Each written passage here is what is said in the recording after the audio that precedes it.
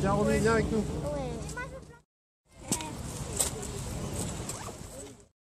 Donc il s'agit du- d'un atelier de plantation avec les, les habitants, les riverains, qui sont venus pour certains en famille. Moi, J'aime bien la nature, donc je suis venue pour planter des arbres avec ma meilleure amie.